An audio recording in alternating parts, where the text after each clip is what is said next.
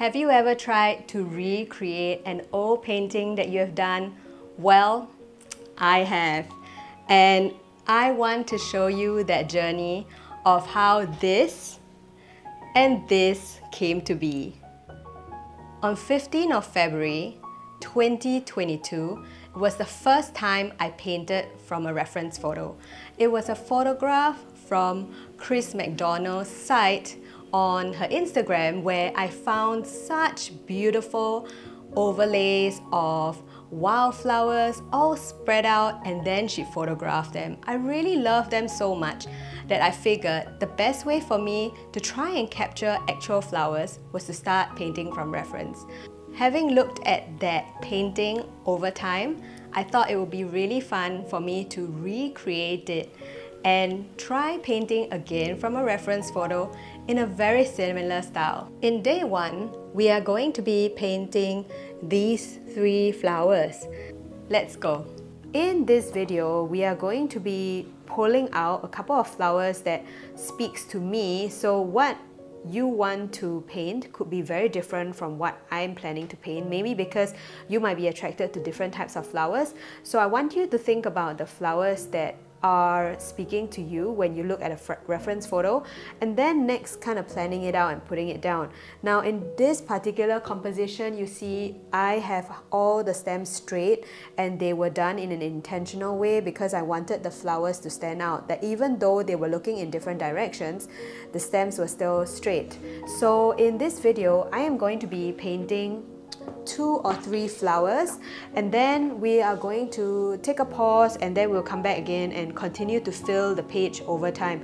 So you're going to see this painting slowly grow over the next few videos because we're not able to finish everything in one video and I want to keep each painting session short so that it's manageable for you to come back to. So just to introduce to you what supplies I have on my table. Here I've got my 100% cotton cold press paper from Baohong Academy and this is a 16 by 12 inch paper. I love painting big because you know it means that you get to move a lot more. You also have more space to capture more flowers. So I love, love, love big pieces of paper. Now on my desk, I've got two cups of water. I've got my brushes here, my assortment of brushes. So I've got a couple of flat brushes, both synthetic and mixed natural hair synthetic brushes. And then I've got a round brush here as well. My paint tubes and palettes that are from Sennelier. I'm going to be spraying them down so that they are nice and moist. And then I've also got my watercolor inks here. And these watercolor inks essentially are just inks from Dr. Martin PH. I have used them in a pill box so that I can continue to kind of spray them down and use them again. Now over here I've got my watercolor um, ceramic plate. This is just a regular plate from the kitchen section in a, in a home store so you don't really need a fancy plate so let's begin I'm going to be setting my reference photo aside and I want to show you again the painting that I did before and right here I've painted pretty big blooms and I'm going to again pull out some of these similar looking flowers because I want to do a comparison as well from the time that I painted these and from now, right? And these were painted in 15th of February 2022 and the date today is um, it's, it's actually in May 2023 right now. So let's try it out now I'm going to start off with my brushes and I'm just going to pull out my reference photo, kind of figuring out which shape that I want to go with. Now the nice thing about a reference photo that is not very detailed is that you get to focus more on the shapes rather than the details, which is essentially what you want to do as a loose floral painter. So I'm gonna set my reference photo aside and I'm just gonna pull out a couple of flowers that I'm going to be painting. So I'm gonna get a nice red hue first. I can see that my brush is not wet enough so I'm going to wet it a little bit more. And you know the fun thing about this painting that I had done at that time, I was using predominantly a round brush and right now what I'm using is a flat brush. I've definitely pivoted and changed the types of brushes that I'm using but I think that that is such a, a strength or it's so fun. So I'm just pulling out petals and these petals are basically starting from the inside out and I'm just placing them down. So I've got one floral shape right there and I can see that the peach shade that I had put in earlier is bleeding into my red and if I don't want that you're welcome to manipulate it around and kind of push it back so I'm going in with more red. So I'm kind of pushing it back and manipulating it a little. So I'm excited to see what's the difference in my painting style uh, whether I've developed or whether I've changed in the way I painted. And I've got one flower there and I'm going to capture something similar another red one. I'm not sure what flowers these are but I'm just assuming that um, they could be poppies or something. This is a gorgeous red that I've got from Sennelier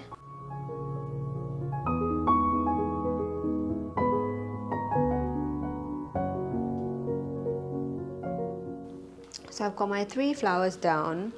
And what I'm gonna do is I'm gonna do my stems now while waiting for it to dry. I'm gonna create my stems and I want to pull out some yellow and I've got some existing blue here. So I'm just gonna kind of mix up my own green and see where that takes me. I know I took the blue from there before, so I'm just gonna do that. And then I'm going to pull out my stems.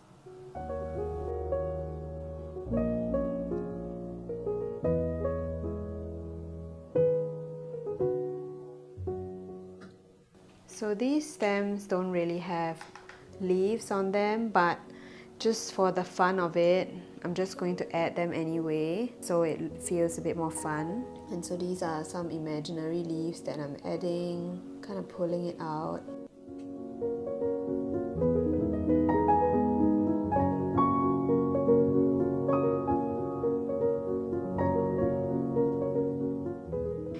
Now the next thing I'm gonna do is I'm gonna create the centers and I'm kind of going in and taking my synthetic round brush a small one because the one that I have here is pretty big. So I just want a synthetic small round and I'm going to take some of these um, it's a Van Dyke brown.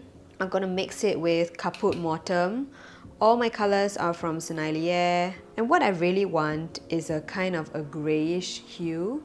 So I'm going to just see if I can mix in a little blue into this brown and then I get a slightly muddier gray blue hue. So the first thing I'm going to check is I'm going to make sure that my centers are dry because I don't want the centers to bleed in there.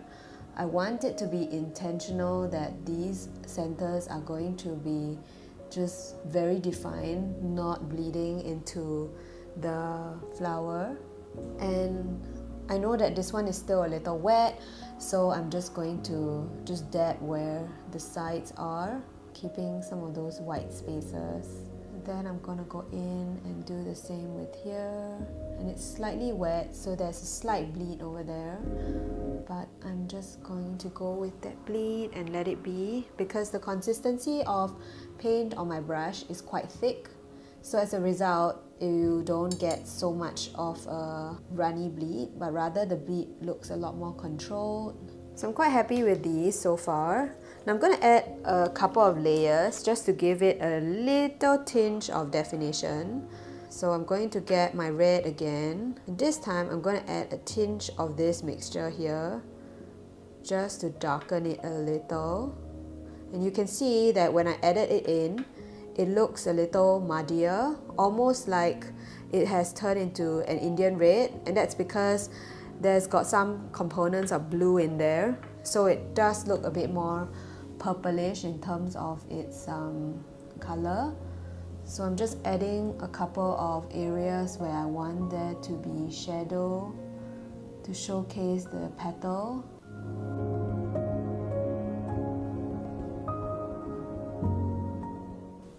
I'm seeing that here is still wet, so it's getting soft bleeds over there and I kind of like it as well. I'm just going to go with it, having some of those nice soft bleeds. Adding in just a touch of shadow and you know you don't have to shadow everything. I'm just shadowing just a small bit. Then when I touched into the black, I saw that parts of it has started to run and that's okay as well. I'm softening the transition here because it looked really stark so I'm just using clean water and kind of rubbing it out so that I get a softer transition between the dark colors and the light colors. I don't want it to be too stark. That's what I'm doing. Then I'm going around kind of adding in some of these color veins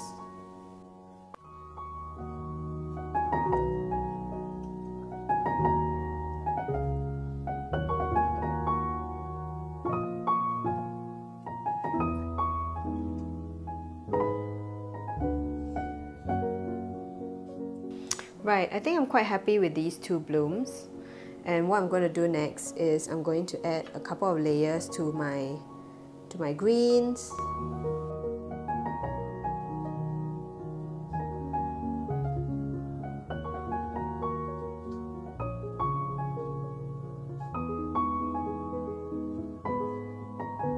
This year marks the end of this video where we will just be painting three flowers and the next time we meet we're going to be painting more.